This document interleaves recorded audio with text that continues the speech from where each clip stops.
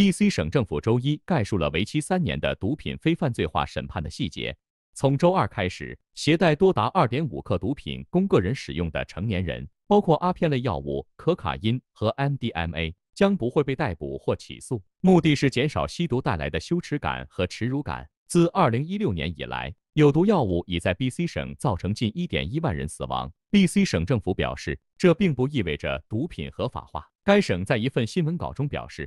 这项豁免所涵盖的药物仍然是非法的。根据管制药物和物质法，无论数量多少，销售或贩运受管制物质仍然是非法的。该省表示，这只是对抗有毒药物危机的第一步。